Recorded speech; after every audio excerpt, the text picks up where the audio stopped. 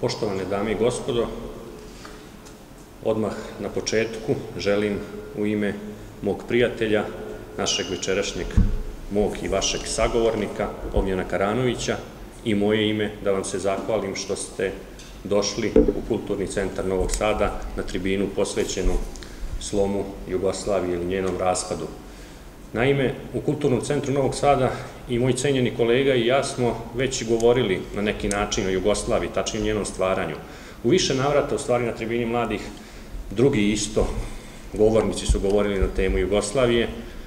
U medijima neretko ćete čuti da se opet priča o Jugoslaviji, o njenoj propasti ili o nastanku ili o ličnostima koje su imale značajnu ulogu u, u njenom životu. I to nekako ne treba da nas iznenađuje, jer tema Jugoslavije je uvek aktuelna, uvek zanimljiva, izaziva emocije, kao što bi neko rekao. Zašto? Pa zato što su posledice njenog postojanja dan danas aktuelne, osjećamo ih jako dobro. I u ostalom, ta država se nije tako davno raspala. To se desilo tek pre nešto više od četvrt veka. A kada uzmemo u obzir da se taj raspad desio na taj način da su više od stotinu hiljada ljudi izgubilo svoje živote, da su milioni ljudi raseljeni, ako uzmemo u obzir da su ekonomije svih republika osamostaljenih raspadom Jugoslavije, skoro svih republika doživele svoj kolaps, da smo unazađeni u tom ekonomskom smislu, privrednom, decenijama, onda ćemo shvatiti da je ta tema naravno aktuelna. To je čini aktuelnim. Mi dobro osjećamo na svojoj koži posledice svega toga što se dešavalo. I zato mislim da je važno razgovarati o Jugoslaviji. Jer ako nešto možemo, možemo da učimo iz istorije, iz prošlosti. I možemo dobro razumeti da sve to što se dešavalo 90-ih nas je skupo koštalo i jako je važno čuvati stabilnost, jako je važno čuvati mir. Ako bi nam se ponovilo opet nešto tako tragično, kao to 90. godina, ne znam da li bismo decenijama bili unazađeni ili bi bili možda čak vekovima unazađeni. I ne znam na koji način bi to mogli da opravdamo ni pred sobom, ni pred našim pokolenjima. Uglavnom, ono što na početku želim da kažem da Jugoslavija od svog nastanka, od svog stvaranja imala brojne probleme, uglavnom slične kao i druge države, ali jedan problem se tu izdvojio, to je nacionalno pitanje. Ostalo je, to je ostalo nerešiva enigma i za monarhističku i za komunističku Jugoslaviju. Praktično od njenog stvaranja, srpska politička elita i hrvatska politička elita su bile u konstantnom sukobu oko samog uređenja Jugoslavije. Srpska politička elita je smatrala da je unitarno uređenje najbolje rešenje, da je najbolje rešenje i za Srbe, i za Hrvate, i za druge narode. Zašto Slovence? Zašto? Zato što je bilo teško na prostoru Jugoslavije povući granice, a da neko ne bude time nezadovoljan. Baš zbog izmešanosti naroda na tim prostorima. S druge strane, hrvatska politička elita je smatrala da je ona na neki način majorizovana u Jugoslaviji, zahvaljujući tome što su Srbi najbrojniji narod i oni su težili federaciji. Želeli su svoju federalnu jedinicu u okviru Jugoslavije i to je taj spor koji će držati Jugoslaviju u konstantnoj nestabilnosti. I srpska politička elita i hrvatska politička elita koristit će ili trošit će svoju energiju na taj sukob, što će u mnogome doprineti i možda i sporijem razvoju te Jugoslavije. Ali ono što je činjenica i što moramo razumeti, što želimo odmah na početku da kažem, problem osnovni Jugoslavije što su srpska i politička elita i hrvatska politička elita nju doživjela na drugačiji način. Po mom dubokom uverenju, naravno, verujem da se možda neko od vas s tim neće složiti. Šta tu pre svega mislim? Mislim, kada su Srbi govorili o unitarnom rešenju kao konačnom rešenju za Jugoslaviju, oni su to shvatali na taj način da je Jugoslavija za njih i konačno rešenje. Ali hrvatska elita Jugoslaviju nije doživjela kao konačno rešenje. Oni su tu Jugoslaviju doživjeli kao etapu ka ostvarenju konačnog cilja, to je puna nezavisnost. Iako se to tada nije videlo, u monarhističkoj Jugoslaviji hrvatska politička elita, ona najbrojnija, ona nije protiv Jugoslavije ili HSS, Stjepana Radića, Vlatka Mačeka. Oni žele samo da se ta Jugoslavija federalizuje. Ali sa druge strane, vidjet ćemo upravo iz daljeg izlaganja, u stvari vidjet ćete da li mogu da dokažemo ovu svoju tezu ili teoriju, a mislim da ćemo to najlakše dokazati ako pratimo taj dalje istorijski tok Jugoslavije. Neosporno je da je srpska elita u toj monarhističkoj Jugoslaviji imala najdominantnu ulogu, ali zato što su Srbi bili najbrojniji narod. I rezultati izbora su uvek bili takvi da su srpske stranke ili projugoslovenske unitarističke stranke imale većinu u parlamentu. I logično je negde bilo da Srbin obično bude premijer. I to je sve činjenica. Stvari se menjaju negde tek od drugog svetskog rata. Možemo reći još sa stvaranjem Banovine Hrvatske da se već tada počelo napuštati taj princip unitarne države, ali Banovina Hrvatska u punom kapacitetu nikada nije ni zaživela, niti je Jugoslaviji tada bilo rešeno ovo drugo srpsko pitanje.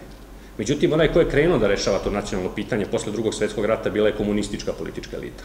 Josip Broz Tito i partizani su odneli pobedu u tom građanskom ratu u Jugoslaviji i oni su odlučili da će rešiti to nacionalno pitanje na taj način što će federalizovati Jugoslaviju.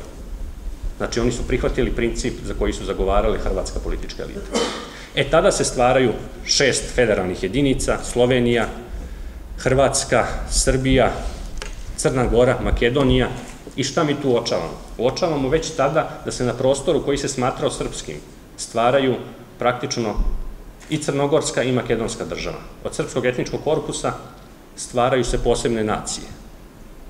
I vidimo da je u stvari prihvaćen jedan narativ koji je komunistička partija iznela još u Drezdenu 28. kao jedno načelo, a to je da je za stanje u Jugoslaviji, a to je stanje konstantne nestabilnosti, u stvari kriva srpska politička elita, koja je bila hegemonistička i samim tim Hrvati i Slovenci su bili nezadovoljni takvim stanjem i zato su želeli, želeli da, da traže neki drugi način i drugo rešenje za Jugoslaviju.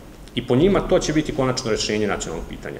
Federalna zemlja po principu što slabija Srbija, to jača Jugoslavija. Tako da Srbija i bez, tu neke, bez Makedonije, bez Crne Gore nije bila dovoljno mala i onda su stvorene dve autonomne pokrajine. Kosovo i Metohija sa albanskom većinom i Vojvodina koja je imala srpsku većinu, tada još uvek blagu na početku tih 50. godina, ali kasnije će to biti dominantna većina. Uglavnom, posledice i tih odluka vidimo i dan danas, tada je zabranjeno i srpskom stanovništvu posle rata da se vrati srpskim izbjelicama sa Kosova na Kosovo i to je dramatično promenilo i sliku etničku na Kosovu i eto, to je još jedan primer kako Jugoslavija i, i, i ti događaje od tada imaju velike posledice, reperkusije na naše pozicije danas. Suštinski, možda je delovalo da je tada nacionalno pitanje rešeno, ili nekome je delovalo. Međutim, dešava se onaj drugi moment. Hrvatska politička elita i slovenačka politička elita nisu bile zadovoljne ni tim rešenjem. Pre svega Edvard Kardelj, zatim Ivan Steva Krajačić, neprikosloveni kadrovik u Hrvatskoj, komunističkoj Hrvatskoj, najuticajniji čovek tog vremena u Hrvatskoj, Vladimir Bakarić, inače za Stevu Krajačića se govorilo da ga se možda i sam Josip Broz plaši, ali sigurno je bio iz tog njegovog najbližeg okruženja.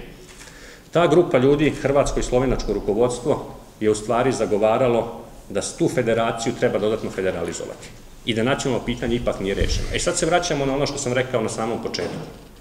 Da hrvatska politička elita nije iskreno govorila da je federacija u stvari nešto što će pomoći da Jugoslavija bolje funkcioniše. Zašto? Jer kad su dobili federaciju, onda su tražili nedugo posle toga konfederaciju. Onog momenta kad su dobili Ustavni 74. konfederaciju, ostalo je da traži se ono poslednje. E sada, krajem 50. početkom 60. godina, ta grupa koja se zalaže za federalizovanje federacije postaje sve agilnija. 62. godine je bio jedan tajni sastanak prošireni, proširenog izvršnog komiteta, Centralnog komiteta Jugoslavije, gde je Kardelj prvi put javno izneo tu ideju, otvoreno pred svojim partijskim drugovima, da treba nastaviti federalizovanje Jugoslavije i ojačati republike naspram centralne vlade. U tom trenutku on je ostao u manjini, jer je ova struja koja se zalagala za očuvanje takve čvrste federacije, okupljena oko Aleksandra Rankovića, druge po značaju političke ličnosti, možemo tako reći, u tadašnjoj Jugoslaviji, još uvek bila jaka. Inače, Aleksandar Janković je u to vreme najistaknutiji srpski komunista u Jugoslaviji ili srpski komunistički lider. I Kardelj je tada bio pred svojom političkom likvidacijom, možemo to slobodno reći. Jedino što ga je tad zaštitilo je jedinstvo slovenačkih komunista koji su stali ispred Tita, stali uz Kardelja i odlučili da će braniti, kako su rekli tovariša Kardelja, i Tito je tu ustupnuo. Kardelj je na neki način samo potisnut, na neko vreme marginalizovan, ali nije i uklonjen politički. A taj barijak želje za daljim federalizovanjem zemlje preuzeo je samo Vladimir Bakarić iz Hrvatske. I već naredne 63. godine na Martovskom plenumu, ako se ne varam, Bakarić je čekao da svi iznesu svoje mišljenje, on je poslednji izašao i onda je izneo taj stav da, kako je rekao, obratio, se direktno Josipu Brozu, koji je tu bio prisutan, rekavši da hrvatsko pitanje nije rešeno. A Josip Broz mu je odgovorio, pa Vlado ti ga rešava, ja stojim iza tebe. E to je možda jedan od ključnih momenta dalje sudbine Jugoslavije. To je pokazalo da je Tito tada stao na stranu onih koji su se zalagali za konfederalizaciju Jugoslavije. Otvoreno stao na stranu. Posle toga, od 63. do 66. za te tri godine, najvažnije što će se dešavati je suštinski uklanjanje ljudi koji su bili najbliži Aleksandru Rankoviću. Jer je Ranković u stvari bio taj koji se zalagao za očuvanje te takve federalne Jugoslavije. Smatrao je da ako se ponovo otvori nacionalno pitanje, da se otvara iz jedinog razloga što neko želi da razbije zemlju. Iako je Ranković kasnije bio prokazan kao možda i, i velikosrpski hegemonista i nacionalista, u njemu ništa nije bilo velikosrpsko, niti u njemu bilo srpskog nacionalizma. Po mom dubokom uverenju, on je bio pre svega jugoslovenski patriota, ako to tako mogu reći, i to je ostao do kraja. On je u ovome što se radilo video u stvari razbijanje Jugoslavije, a nije ni najmanje vodio računa tu o srpskim interesima. Ali šta se desilo umeđu vremenu? Umeđu vremenu su uz podršku Tita uklonjeni Rankovićevi ljudi, dovoljno je pomenuti Hamovića, čoveka koji je bio na čelu vojske, Milojevića, komadanta armijske oblasti u Beogradu, Jeftu Šašića, šefa obaveštajne vojne službe, pa je uklonjeni ministar Savezni unutrašnjih poslova Svetislav Stefanović. Praktično je uklonjeno celo to blisko okruženje Rankovića u Jugoslaviji. Zašto? Jer se pripremala njegova politička likvidacija. Što će se desiti na Brionskom plenumu 66. Tada Ranković nije imao nikakvu šansu. Njegovi ljudi su već uklonjeni i on je jednostavno tada samo formalno sklonjen ili formalno potpunosti skrajnut, marginalizovan sa političke scene i to je značilo potpunu pobedu onih u Jugoslaviji koji su se zalagali za federalizovanje federacije. Potpunu pobedu koja će imati svoj potpuni epilog ili koja će krunu toga dobiti 74. kada je bio donet ustav Jugoslavije.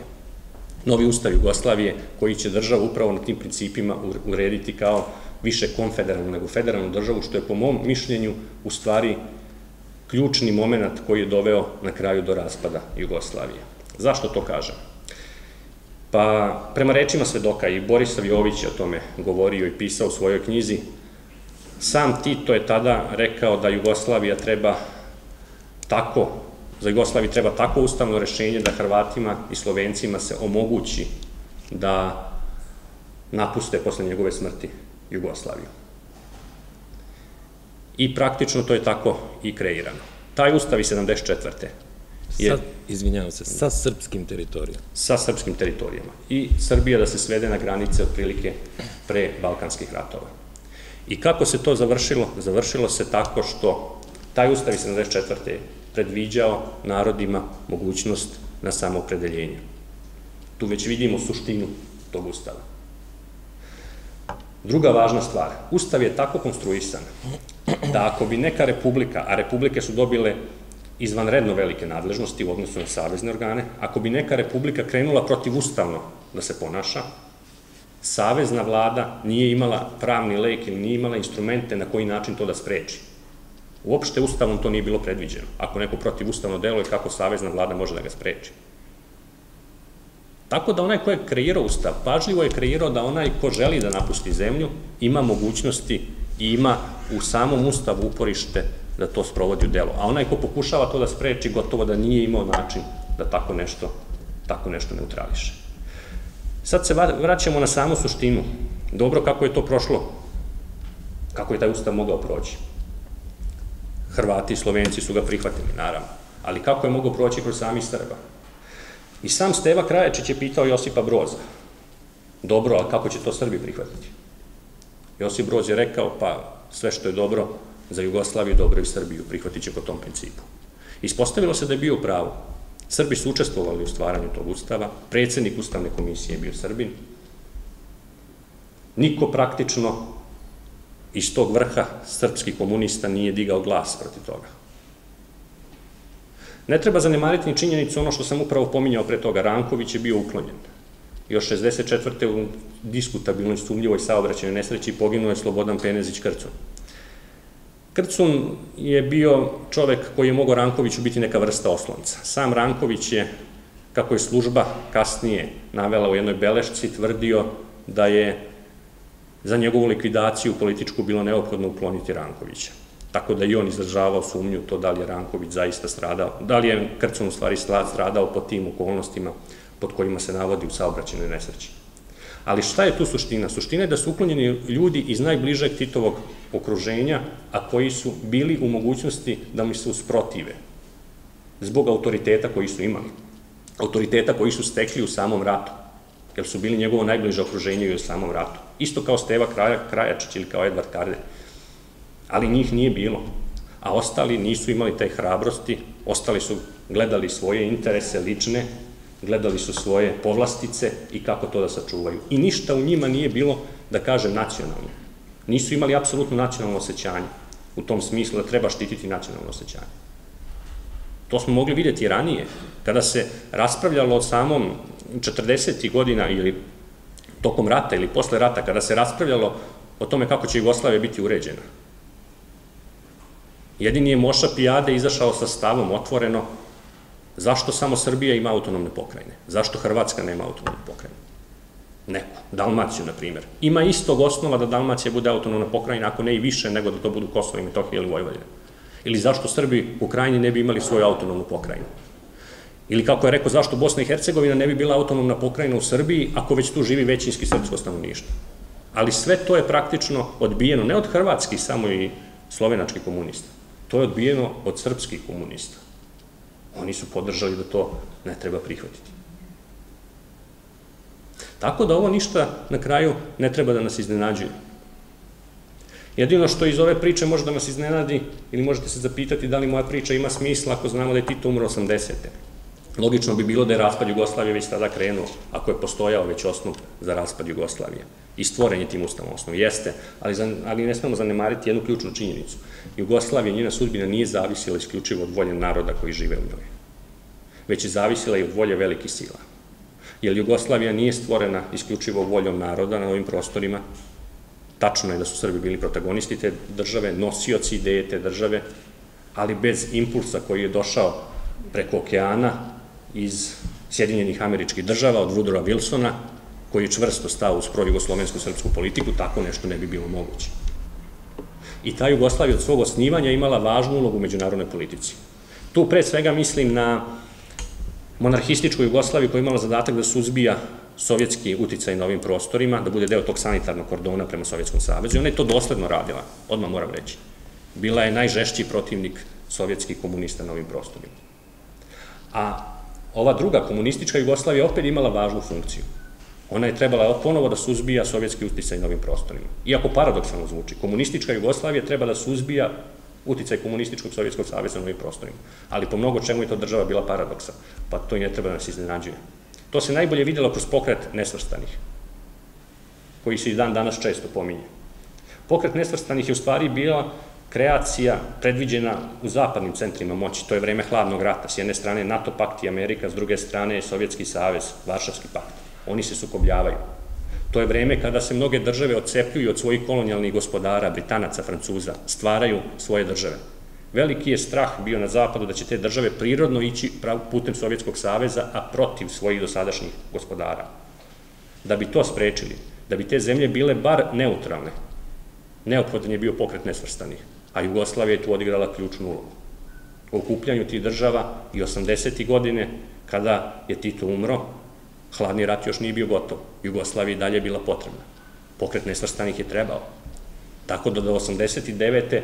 ako bi neko i krenuo u, neki separatistički pokušaj u Jugoslaviji, on bi se suočio sa tim da ne bi dobio otvorenu podršku određenih centara moći, tako da niko razuman u tom trenutku i samog slovinačkog i hrvatskog rukovodstva nije želeo da krene tim putem, tako bar ja mislim, uveren sam u to. Ali 89. situacija se dramatično menja. Zašto? Jer pao je Berlinski zid tog momentu NATO pakt je odneo pobedu u hladnom ratu, nema više potrebe za, za tim za tim pokretom nesvrstanih, samim tim Jugoslavija gubi funkciju, neće biti spolja stega koje će zaštititi, koji će reći treba da opstane pod svaku cenu i u takvim okolnostima separatizam je samo dobio odrešene ruke ili separatistički pokreti su dobili odrešene ruke da mogu da sprovedu svoju nameru u delo.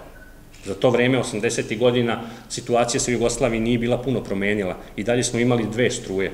Jednu okupljenu oko Slovenaca, pre svega, koja se zalagala tada već za konfederalizovanje Jugoslavije na taj način što će se proglasiti nezavisne republike, pa će se one ujediniti u neku, u neku konfederalnu državu, što ćemo se složiti u suštini predlog da se država razbije. To je apsolutno to. Jer ako vi razjedinite državu, ko će garantovati da će se te države posle ujediniti? Ne mora niko to da garantuje. I s druge strane je bilo srpsko rukovodstvo, ojačano samopouzdanjem, posle smene generacija došli su mlađi komunisti, predvođeni Ivanom Stambolićem, Slobodanom Miloševićem, Pavlovićem i drugima, koji su želeli da Jugoslavija funkcioniše kao moderna federacija, i koji su sa druge strane zauzeli stav da se moraju ispraviti te neke anomalije ustavne po kome su autonomne pokrajine imale gotovo nadležnosti nad Srbijom, a Srbija nije imala nadležnosti nad svojim autonomnim pokrajinama, što je opet paradoks sam po sebi. Samo su postojali, ponavljam, Stambolić i Milošević su imali isti stav, ali su bili različiti po razmišljanju na koji način to sprovesti u delu. Stambolić je smatrao da to treba ići kroz neki ustavni poredak, uz dogovor sa ostalim republikama i njihovim rukovodstvima, a Milošević je smatrao da će to samo dovesti do ucenjivanja i da ćemo se zamotati u lavirint institucija iz koga nema izlaza i da je bolje rešenje to rešavati na brži način, takozvanim birokratskim revolucijama, kada je uz pomoć, znamo, vozova i, i, i demonstranata polako rušeno jedno rukovodstvo u Vojvodini, u Crnoj Gori, na kraju uspostavljena kontrola i nad Kosovom i Metohijom, ustavnim promenama, Milošević je vratio i Kosovo i Metohiju i Vojvodinu pred ustavni poredak Srbije tim amandmanima. Crnogorsko rukovodstvo je stalo uz njega i na taj način se stvorio taj blok nasuprot slovenačkom i hrvatskom bloku u Jugoslaviji. E, to je ta linija koja će se sukobljavati nadalje. Jedan od ključnih momenta je još 90. godina, početak te 90. godine, tada je već pao Berlinski zid, istočna Evropa je krenula već putem demokratizacije i logično je bilo da se očekuju izbori u Jugoslaviji. Savez komunista imao svoju poslednju sednicu, gde se videla te velike razlike između srpskog i slovenačkog rukovodstva. Slovenačko rukovodstvo, kad je videlo da nema podršku u Savezu komunista Jugoslavije, napustili su sednicu, Hrvati su se solidarisali sa njima i njihovo rukovodstvo je napustilo sednicu i Savez komunista Jugoslavije se tu faktički raspao. Ali to nije imalo ni nekog značaja, onako su sledili 90. godine izbori u svim republikama, i dok su neki očekivali da će demokratija biti lek na ranu, ispostavilo se da je demokratija u mnogome dolila ulje na vatru, jer narod uslobođen tih stega i pritisaka uz slobodu govora koja je garantovana, nije dobro ni razumeo da sloboda govora nosi odgovornost za izgovorene reči, tako da je to brzo iz nacionalizma prešlo u šovinizam, Stranke koje su pobedile na izborima širom Jugoslavije su bile uglavnom nacionalističke, sem u Srbiji i Crnoj Gori gde su pobedili reformisani komunisti, socijalistička partija i DPS u Crnoj Gori. I šta je to na kraju dovelo situaciju? Dovelo je situaciju do toga da smo imali stav hrvatskog i slovenačkog rukovodstva, da je njima prihvatljiva konfederacija ili razbijanje Jugoslavije pa savez nekih nezavisnih država, u jednom momentu, kasnije čak ni to nije bilo prihvatljivo, i srpsko rukovodstvo koje je zauzelo stav Jugoslavija može, ali Jugoslavija koja će funkcionisati kao normalna federacija ili da se razilazimo. Ubrzo, posle toga, situacija se polako iz godine u godinu dramatično pogoršavala. Već 90. su počele na oružavanje. Imamo slučaj HDZ-a koji naoružava i formira svoje jedinice u Hrvatskoj, zbor Narodne garde. To je bilo protivustavno. Da ne kažem da su sve republike se ponašale protivustavno. Nema tu ni, ne možemo abolirati ni Srbiju i njeni delovanje na kraju krajeva u mnogo čemu bilo protivustavno. Ali svi su se tako ponašali u tom trenutku. A ponavljam, Ustav i 74. je na kraju tako napravljen da može tako da se tumači i da može tako da se ponaša. I u takvim okolnostima, kažem, bez međunarodnog pritiska da se država sačuva, ona se nije mogla sačuvati. Hrvati i Slovenci su na plebiscitarno se gotovo izjasnili da žele da napuste Jugoslaviju. Srpsko rukovodstvo nije bilo zato da se na silu Hrvati i Slovenci zadržavaju Jugoslaviju ako ne mogu. Ali nije bilo ni zato da oni mogu da Srbe bez njihove volje na kraju izvedu iz Jugoslavije. Ako Hrvati i Slovenci mogu da napuste Jugoslaviju, po srpskom rukovodstvu logično je bilo da Srbi ili neki drugi koji žele mogu da ostanu u toj Jugoslaviji. Uglavnom, situacija je postala uzavrela, mnogo tome je doprinelo, to moram reći, i, i, i pre svega situacija u Hrvatskoj oko HDZ-a koji je imao tu jednu profašističku ikonografiju ili ustašku ikonografiju i te njihove ponašanje pre svega gde su vratili u zemlju ljude koji su bili, možemo slobodno reći, proustaški orijentisani ili deo nekog ustaškog pokreta i koji su zauzeli važne funkcije u zemlji. I mnogi emigranti su se vraćali i veličani su toj zemlji, to je dodatno, naravno, stvarao atmosferu straha, mediji su raspirivali tu atmosferu straha, a oružje je već podeljeno ljudima, tako da ono što se kasnije dešavalo, više manje nam je tu dobro poznato. Od velikih sila moram reći da su Nemačka pre svega i Vatikan odigrali najveću ulogu kada je u pitanju podrška secesionističkim pokretima, Čak Sjedinjene države su se, Sjedinjene američke države su se u početku držale i, i, i negde rezervisano i to je sam Borislav Jović govorio da kada je razgovarao sa Lorencom Iglbergerom, čovekom administracije Đorđa Busha starijeg, da mu je ovaj rekao da oni nisu za slom Jugoslavije, ali da je Nemačka ta koja insistira na tome da se podrži Hrvatska i Slovenačka nezavisnost, a to je suštinski vodilo tim putem. Posle, ono što jedino se čekalo u suštini je stav vojske, ali o tome nekako neću nešto više reći, to ću prepustiti Ognjenu, pošto znam da jako dobro poznaje taj period i to dešavanje oko čuvenih martovskih sednica predsedništva pod patronatom vojske, možemo slobodno reći. Te sednice su bile pod patronatom vojske i kako je sve to dalje teklo. Ono što želim da naglasim, da sam pokušao i nadam se uspeo da vam povežem tu nit moje, mog ubeđenja da srpska politička elita i Hrvatska od starta nisu razumele na isti način Jugoslaviju. Za Srbije ona bila konačno rešenje, za Hrvate nije, ili za Slovence. Samo jedna mala digresija. Edvard Kardelj je još 30. godina, krajem 30. godina, ako se ne varam, pisao da će konačno rešenje za Slovence biti kada Slovenci, nacionalno pitanje Slovenaca će biti kada Slovenija bude nezavisna država. Tako da, tu vidimo tu nit koja je povezana. Bez obzira da li je Hrvatsko ili slovenačko rukovodstvo bilo komunističko ili demokratsko, njima je cilj uvek bio isti. I tu jednostavno razlike nije bilo. Evo, tome je neko moje viđenje tog raspada Jugoslavije. Ja vam se sad zahvaljujem, a reč prepuštam Ognjenu.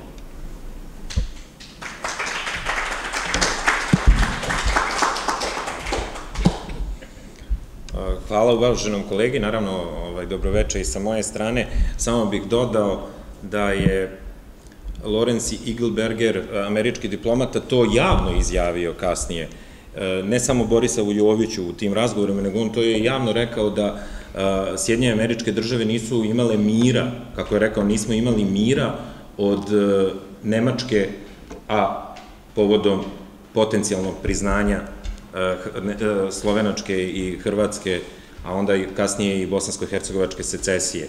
No, ovo je naravno inspirativno i vrlo precizno izlaganje moga kolege je ostavilo stvarno prostora da možemo i dalje da razgovaramo o, o svemu tome. Naravno, ja bi se e, fokusirao prvo na, na, na jednu tezu, odnosno ne tezu, nego činjenicu koju je e, Srđan ovde elaborirao. E, nema nikakve sumnje da najveća odgovornost za tragičan i za težak položaj srpskog naroda u 90. godinama prethodnog veka leži na srpskim političkim elitama koje su 1974. godine dopustile ili koje su učestvovale u kreiranju ustava Socialističke federativne republike Jugoslavije, koji je, kako je i Graovac rekao, uh, u stvari podsticao republike i narode na neustavno delovanje, što je na kraju dovelo do uništenja Jugoslavije to je sa te neke ustavne ili legislativne strane, to možemo tako posmatrati i to je zaista tačno.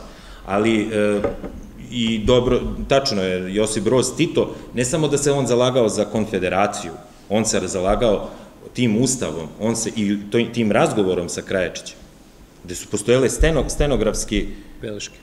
zapisi toga. Dakle, iz, iz svega toga mi vidimo da nije se on zalagao za neku reformu Jugoslavije ili transformaciju njenog ustavno-pravnog ili državno-pravnog položaja, nego se zalagao za njen raspad.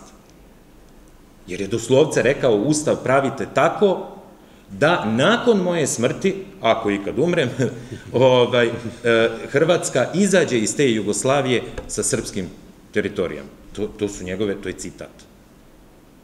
Ali, e, pored tog stava Tita i, i, i uopšte Ustava iz 74.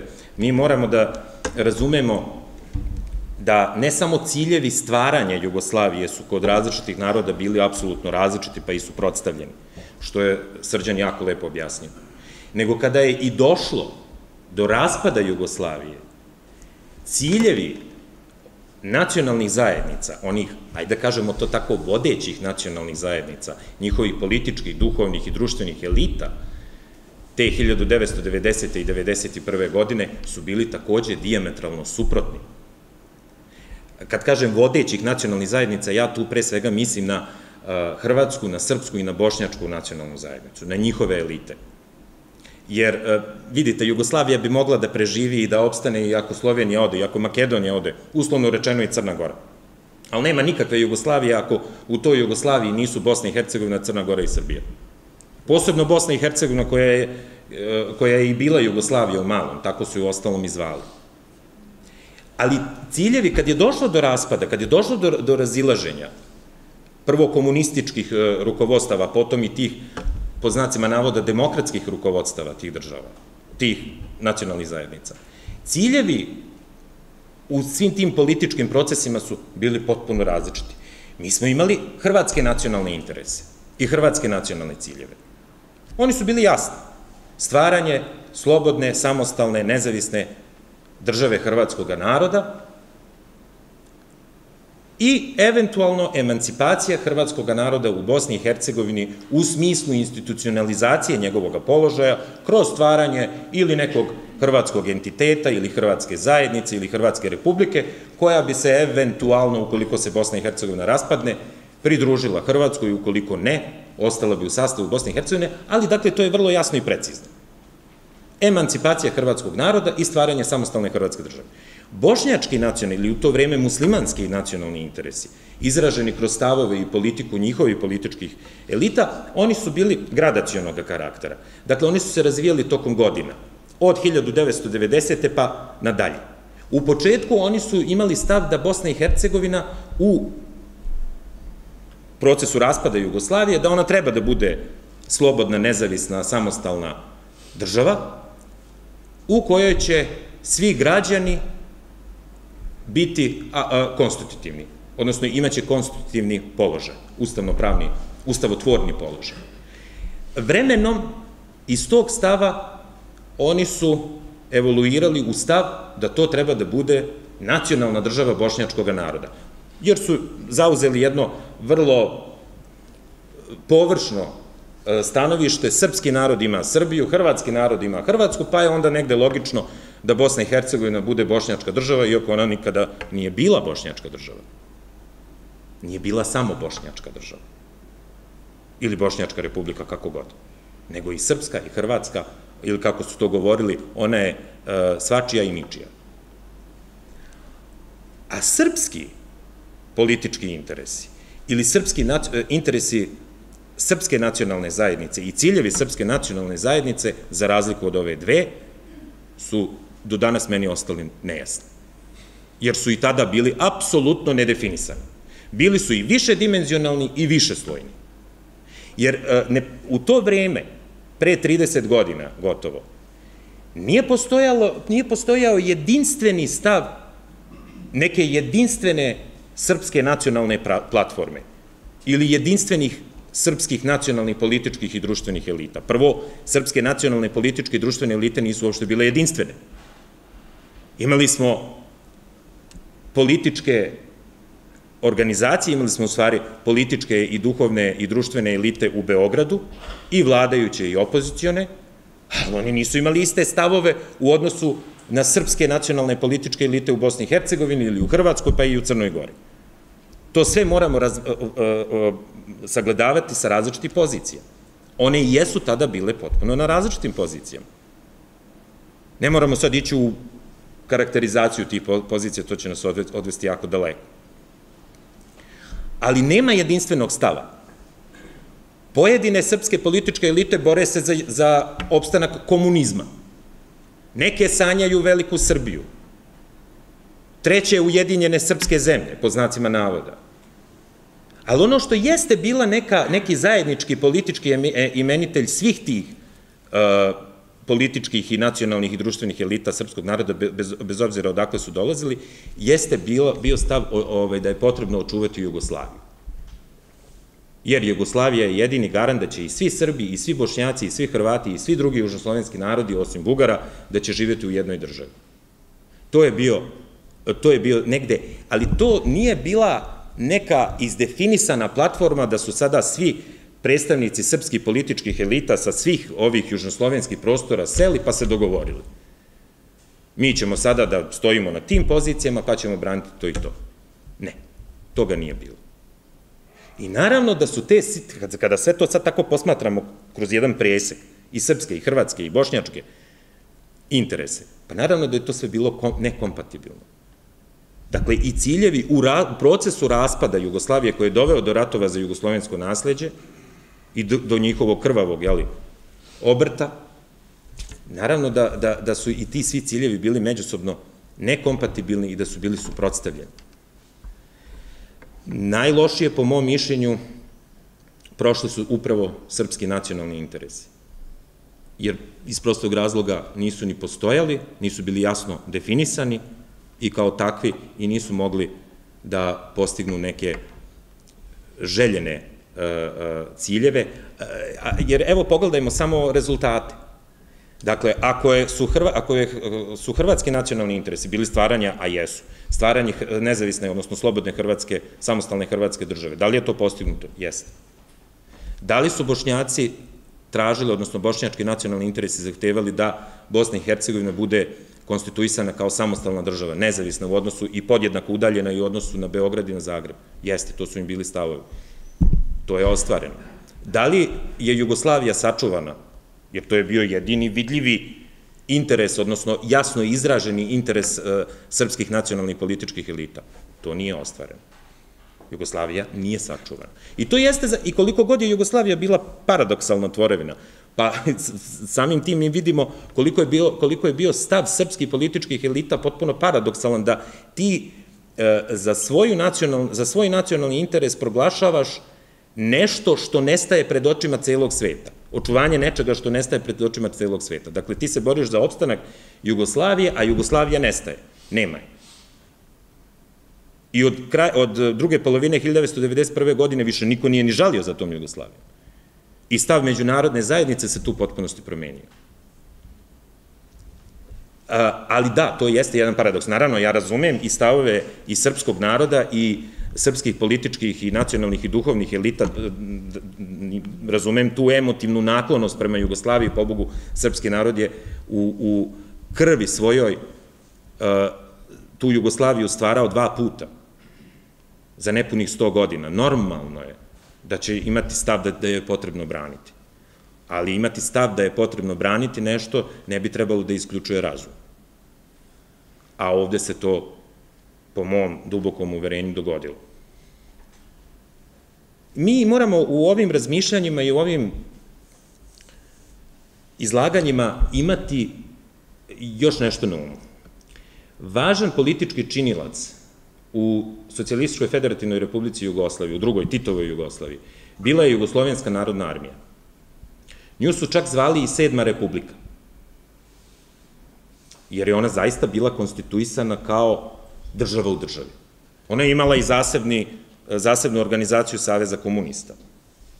Oficirski kor, odnosno oficirski kadar unutar Jugoslovenske narodne armije bio je, predstavljao je privilegovani deo jugoslovenskog društva. Odgajan, odnosno vaspitavan u jednom specifičnom ideološkom diskursu i okviru, odnosno u diskursnom okviru. I stav JNA je zaista bio veoma specifičan i isto tako paradoksalan kad je počela ta kriza, jugoslovenska kriza i kada je počeo raspad Jugoslavije. Stav je bio vrlo nejasan. Isto su se tu pojavili neki višeslojne, pojavile su se neke višeslojne ideje o tome e, šta bi trebalo raditi. Veći deo oficirskog kadra smatrao je da je potrebno braniti komunizam. Onaj drugi, onaj manji deo oficirskog kadra smatrao je da treba braniti Jugoslaviju. Gotovo da nije bilo apsolutno nikoga u tom oficirskom kadru koji je smatrao da, na primjer, da je potrebno uh, braniti neke srpske nacionalne interese. Naravno, govorimo o onim oficirima koji su bili srpske nacionalnosti. E, čak je unutar, Saveza, unutar Jugoslovenske narodne armije nakon raspada Saveza komunista Jugoslavije osnovana nova komunistička organizacija, Savez komunista pokret za Jugoslaviju, pretača one čuvene jugoslovenske levice. I u toj partiji su bili Veljko Kadijević i Blagoje Adžić i e, Steva Mirković i e, pa gotovo svi viđeni i uticajniji oficiri unutar JNA. Oni su, na primer, 1990. godine strahovito zamerali Slobodanu Miloševiću što je on osnovao Socialističku partiju Srbije. Kako se usuđuje bilo ko da stvara neku političku organizaciju, pa bila ona i ta, bila ona i to, ta reformisana komunistička partija, poput SPS-a, kako se neko usuđuje da razbija jedinstvo komunista u zemlji. Dakle, o tome su razmišljali oficiri, o tome je razmišljao oficirski kadar unutar Jugoslovenske narodne armije, ja govorim naravno o najvišim onim oficirima, ne govorimo ovaj, o nekim drugim slojevima u vojsci. Na početku 1991. godine Jugoslavija je ušla u svoju završnu fazu svoga postojanja. Zapravo, agonija njenog raspada dobila je najšire razmere i dosegla je neverovatan intenzitet. E, tada je Jugoslovenska narodna armija, odnosno nekoliko oficira u najvišim krugovima JNA, je došlo na ideju da, da bi jedan državni udar ili vojni udar mogao da preokrene situaciju i da eventualno spreči, pre svega da spreči građanski rat koji je već bio u najavi i da, i da negde eventualno spreči raspad države. E, kolega je pomenuo te sastanke sa vojskom. U martu mesecu 1991. godine već je do marta meseca 1991. godine u Jugoslaviji bilo nekoliko incidenata, još niko nije stradao tada, nije bilo još e, žrtava sa smrtnim ishodom u tim sukobima, ali tenzije su bile neverovatne. Posebno u Hrvatskoj, delimično u Bosni i Hercegovini i naravno u Sloveniji. Tada e, je oficirski kor, odnosno e, najviši oficiri u Jugoslovenskoj narodnoj armiji okupili su članove predsjedništva SFRJ, a po ustavu Socijalističke federativne republike Jugoslavije, predsjedništvo Socijalističke federativne republike Jugoslavije istovremeno čini i vrhovnu komandu. Pošto to nije inokosni organ, dakle ne postoji jedan čovek koji je šef države, nego je to kolektivni šef države, automatski postoji kolektivni vrhovni komandant. Na toj sednici predsjedništva koja je održana od između 12. i 15. marta 1991. godine, dakle trajala je tri dana, One su se sastavile u nekoliko navrata. Vojska je iznela predlog da se sve paravojne formacije u tadašnjoj Jugoslaviji, a bilo ih je bezbroj, posebno u Hrvatskoj, da se one sve raspuste i pre svega razoružaju, da se oni koji su bili odgovorni za nelegalno unošenje i kupovinu oružja, a to su bili upravo Hrvatski, Hrvatsko ministarstvo unutrašnjih poslova, u čuvenoj onoj aferi Špegelj, e, da se odgovorni za kupovinu nelegalnog oružja pohapse i da krivično odgovaraju, i da se ustavno stanje u zemlji vrati na poredak od pre 1990. godine. Tačnije, da se ponište svi akti koji su doneti u državi od 1990. godine, odnosno početka 90. godine do tog trenutka. To je da se vrati ustavno stanje na ustav iz 1974. godine. E, vojska je smatrala da je to način da se izbegne rat i da se zaustavi raspad zemlje. politička rukovodstva Srbije, e, pre svega vojska se nadala da će za tako nešto dobiti podršku Srbije. Ona je tu podršku i načelnu i dobila. Ukoliko je to stav vojske, niko, stav Srbije je bio da niko ne bi trebalo da sumnja u neke dobre namere Jugoslovenske narodne armije. Pogotovo kad ona nije imala nikakav nacionalni karakter. Nego još uvek više nacionalni, pa rekao sam i čak i komunistički. Međutim, stavovi drugih republika su bili potpuno suprotni, većine drugih republika. I na tim sednicama zapravo nije ništa odlučeno, odnosno predlog JNA je odbačen i e, na taj način je taj, ta inicijativa JNA je propala. Tu se praktično Jugoslovenska narodna armija i raspala. Ona će postojati, naravno, do početka 1992. godine, ali ona više nije imala nikakve političke inicijativa. Šta je želela JNA?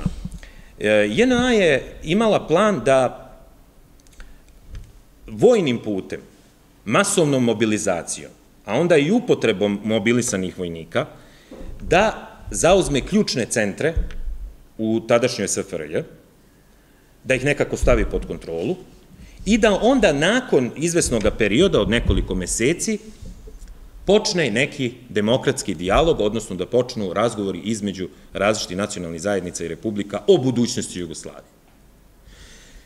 Problem je bio u tome što su što je taj i takav ustav e, socijalističke Jugoslavije je bio tako koncipiran da ni jedan potez JNA je ne, nemoguće ga je bilo pokrenuti ukoliko ne dobiješ saglasnost svih republika a saglasnost svih republika se postizala unutar predsjedništva SFRJ.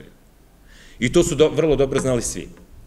Vojska je imala ideju, ona nije želela da pred međunarodnom zajednicom izgleda da se desio goli državni udar. I da se nakon demokratskih promjena iz 1990. godine, da se sada točak istorije vraća unazad. Jer pitanje je ko bi uopšte to priznao, ko bi to uopšte prihvatio, ko bi prihvatio vojnu huntu, odnosno, jer ona bi bila i po, po nekim ovaj, uh, ustavnim teorijama, to, to bi bilo ustavno-pravnim ili državno-pravnim teorijama, to bi onda bila vojna hunta na vlasti.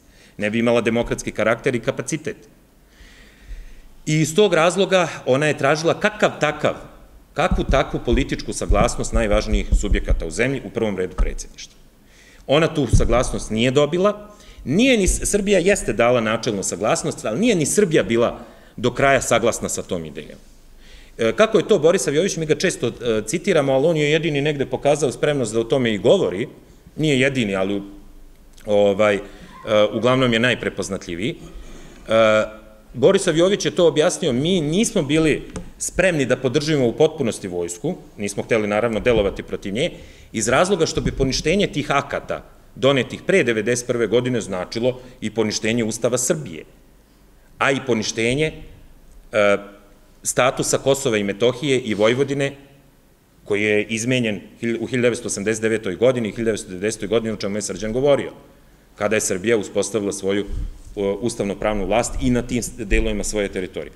E, kako, nakon toga došlo je do apsolutne eskalacije sukoba na pre, pre svega na teritoriji Hrvatske.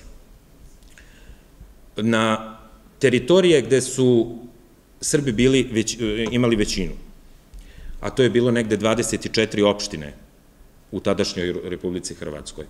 Na tim teritorijama Hrvatsko ministarstvo unutrašnjih poslova, Hrvatska policija, Zbor Narodne garde, koja je u to vreme još uvek bila paravojna jedinica, je izvršila nekoliko zločinačkih napada na lokalno civilno stanovništvo. I to se dešava i u aprilu, maju, junu mesecu, praktično negde sve do, sve do jula. I u toj atmosferi, na tim prostorima, na prostorima 24 srpske opštine ili opštine sa srpskom većinom, došlo je do formiranja takozvanih srpskih autonomnih oblasti, koje su funkcionisale u Dalmaciji, u Istočnoj Slavoniji i u e, Kninskoj krajini. Krajem 1991. godine te teritorijalne autonomne jedinice su se ujedinile u jedan specifičan entitet, odnosno jednu državnu tvorevinu koja se zvala Republika Srpska krajina. To je država koju nikada niko nije priznao i ona je, je na tragičan način završila svoje, svoje postojanje u zločinačkoj agresiji i hrvatskoj zločinačkoj agresiji i e, etnocidu koje, koje su hrvatske oružane snage izvršile 1995. godine pod kodnim imenom Oluja, kada je i veći deo srpskog stanovništva iz Hrvatske protera. E, Hrvatska i Slovenija su nakon sprovedenih referenduma o samostalnosti 25. juna 1991. godine proglasile svoju nezavisnost. Međutim, mi moramo da shvatimo da međunarodna zajednica u tom trenutku još uvek nije bila spremna da podrži te jednostrane akte secesije. Čak su i iznosili predstavnici međunarodne zajednice, u prvom redu Sjedinjene američke država su iznosili brojne sumnje ili rezerve prema takvim aktivnostima pojedinih republika. E, negde saglasnošću, odnosno u dogovoru s međunarodnom zajednicom, stavljen je moratorijum na te odluke narodnih predstavništava Sabora u Zagrebu i u Ljubljani sve do oktobra meseca. I dat je prostor jugoslovenskim republikama da se međusobno dogovore o modalitetu svoje saradnje ili o nekom mirnom razlazu. Mira tu jednostavno nije bilo. U avgustu je došlo do nove ekskalacije sukoba u Hrvatskoj. Već tada imamo brojne žrtve tih, tih sukoba i sa jedne i sa druge strane a hrvatske vlasti počinju da vrše sistematske zločine nad srpskim narodom, u, pogotovo u velikim gradskim centrima. Nemojmo zaboraviti, e, Srbi ostaju bez zaposlenja, dolazi do masovnog otpuštanja iz kolektiva gde su radili, do proterivanja, zastrašivanja, e, zatvaranja, mučenja i ubistava. Po zlu, po zlu će ostati upamćeni zločini u Gospiću, 1991. godine, u Pakracu, u Zagrebu i u nekim drugim još centrima. Uh, u oktobru 1991. godine pakao u Jugoslaviji se otvorio, nakon isteka tog čuvenog moratorijuma. Međunarodna zajednica pod jakim pritiskom Nemačke je promenila svoje mišljenje i umeđu vremenu je sazvala jednu međunarodnu konferenciju koja se nazivala formalno konferencija o Jugoslaviji, u, koja je delovala pre svega u Hagu i u Briselu, koja, je dato u nadležnost da ona rešava u dogovoru sa jugoslovenskim republikama i narodima, da, oni, da ona rešava krizu.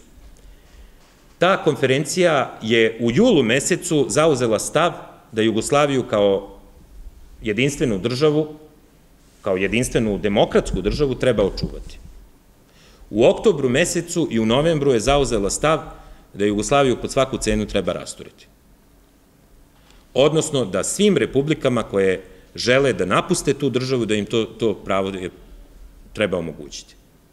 I oni su se tu pozvali na taj specifični završni akt iz Helsinkija iz 1971. godine, je li tako? Taj završni akt iz Helsinkija, koji je jedan od osnovnih dokumenta u funkcionisanju i Evropske unije i Ujedinjenih nacija opšte međunarodne zajednice, je vrlo kontradiktoran. On s jedne strane brani pravo, odnosno omogućuje ili štiti pravo naroda na samoopredeljenje, a sa druge strane e, štiti, štiti pravo država na nepovredivost njenih granica. E sad, ajte vi pomirite ta dva prava.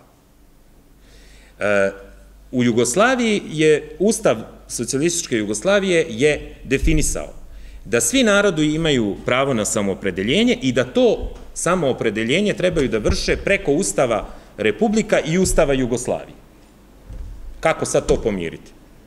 Hrvatski narod u Hrvatskoj smatra da treba da na, želi da napusti Jugoslaviju, poziva se na Ustav Hrvatske, u kome je prethodno jednom gumicom izbrisao srpski narod sa liste postojanja, Nije mu čak dodelio ni status nacionalne manjine. I e, hrvatske političke elite se pozivaju na taj i takav ustav i smatraju da Avnojevske granice iz 1943. i 5. godine, da one trebaju sada da postanu državne granice. A sa druge strane, srpski narod takođe se poziva na ustav Jugoslavije i naravno štiti svoje pravo, odnosno želi da zaštiti svoje pravo da ostane u državi koja već postoji. Hrvatska, Bosna i Hercegovina, Slovenija i druge države nisu postojale, Jugoslavija je postojala. Ali međunarodna zajednica dolazi do jednog solomonskog rešenja da se sva ta prava mogu pomiriti ukoliko se Avnojevske, dakle administrativne unutrašnje granice Jugoslavije proglase za međunarodne. I onda će i narodi unutar tih država, a i same države će biti zaštićene završnim aktom iz Helsinkija, jer će se poštovati oba ta načela. Mogu slobodno da kažem jedno potpuno ludilo. Ovaj, e, naravno da to ništa, ti svi, ti svi akti, ta, te sve, ta sva inicijativa međunarodne zajednice nije, a Jugoslavije nije ni malo pomogla, još manje je pomogla uh, očuvanju mira i sprečavanju građanskog rata koji je do početka 1992. godine zahvatio i Bosnu i Hercegovinu. Uh, Jugoslavija se formalno raspala, odnosno završila je svoje postojanje 27. aprila 1992. godine, Socialistička federativna republika Jugoslavije kada su Srbija i Crna Gore, koje su jedine odlučile da ostanu u federaciji, proglasile novu Jugoslaviju, treću Jugoslaviju, odnosno Saveznu republiku Jugoslaviju, kad je donet Ustav Savezne republike Jugoslavije. E, do tada Jugoslavija u praktičnom smislu više nije postojala. Ali e, šta je rasturilo Jugoslaviju? Da li su je rasturili njeni narod? Ja bih voleo da, kad završim, evo, za jedan minut ovo izlaganje, voleo bih naravno da čujem i vaše mišljenje. E, ostala je od tada do danas je ostala dilema da li su Jugoslaviju uništili, uništili jugoslovenski narodi iz različitih razloga i zbog različitih ciljeva, kako smo to definisali kolega ja, ili je to učinila međunarodna zajednica. Mi ne zaboravimo da je 1991. godina, da je 1991. godina jedna od epohalnih godina u istoriji dugog 20. veka. To je godina kada je došlo do raspada Sovjetskog saveza u decembru mesecu, definitivnog raspada Sovjetskog saveza. To je godina kada je komunizam definitivno prestao da postoji, čak i u Albaniji, što se tiče Evrope. Varšavski pakt je takođe dezintegrisan u avgustu 1991. godine, prestao takođe da postoji. Ali se u decembru 1991. godine desilo nešto što je i danas aktuelno, i pogotovo za Srbiju, dogodilo se stvaranje Evropske unije. Makstritskim ugovorom Evropska ekonomska zajednica je transformisana u ovo što danas znamo, što poznajemo kao jednu nadnacionalnu tvorevinu e, pod imenom Evropska unija. Dakle, sve su to bili neki procesi u svetu koji su i kakve reperkusije imale na, imali na dešavanje u Jugoslaviji. E, ali ne moramo, naravno, mi smo istoričari i mi možemo o ovome trenutno da govorimo sa jedne, jedne e, e, naučno-akademske pozicije koja nema veliku metodološku potporu. Jer sa naučno-metodološke strane potrebno je da prođe jeli, pola veka od nekog događaja, procesa i stanja da bi se o njemu dao isprava naučni sud. Ali to ne znači da ne trebamo razgovarati o tome i zato jer ako je to, to još nešto što je uvek aktuelno, naravno da trebamo da pričamo o tome. Ali ne moramo nas dvojice da pričamo o tome. Pričaju akteri, pričaju protagonisti tih dešavanja. Hvala Bogu, veliki deo njih su još uvek živi i mogu o tome da svedoče. Ako slušamo njih, vidjet ćemo da je međunarodna zajednica imala ogromnu ulogu u raspadu Jugoslavije. Kao što sam ja uveren da je imala i veliku ulogu u njenom stvaranju. I pogotovo Nemačka, pogotovo Nemačka 1990. i 1991. godine. Šta su njihovi razlozi, još uvek ne znam. Možda možemo se saglasiti oko toga da je potreba za postojanje Jugoslavije nestala. Nestalo je Sovjetskog saveza, nestalo je Varšavskog pakta, nema više potrebe za bipolarnim svetom, nije potrebna ni tampon zona zvana Jugoslavija. Ja vam se zahvaljujem.